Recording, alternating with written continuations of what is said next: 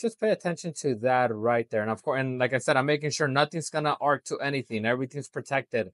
I taped off the things that I, I needed to tape that were bare, but look at that right there. An inline spark tester.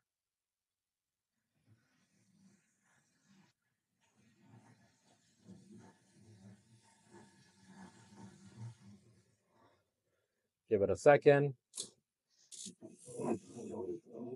Yep. You saw that, right? And then I got my flames. So, uh, you can do this test. This is the way I do it. They sell them pretty much anywhere. Um, I'll put the one that I got on the on the description so you can get it. Um, and this is just to test that the spark igniter is working.